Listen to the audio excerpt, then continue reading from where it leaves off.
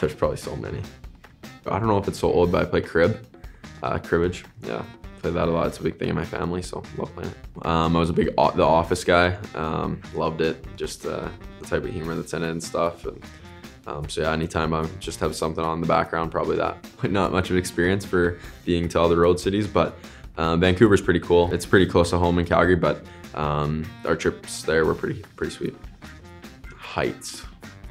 First thing that came to my mind was like driving a, a Formula One or race car. I think I watched that like Netflix documentary on Drive to Survive or whatever, and there's one sport that I told you I'd never get into, it'd probably be racing. But now it's uh, now I'm hooked, so that'd be a pretty cool experience.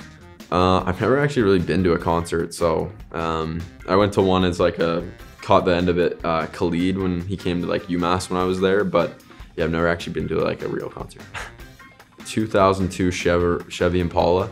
Uh, my grandparents gave it to me when I was in junior, and um, yeah, whipped around in that thing for a while. It, was, it buzzed pretty fast, so you can't complain.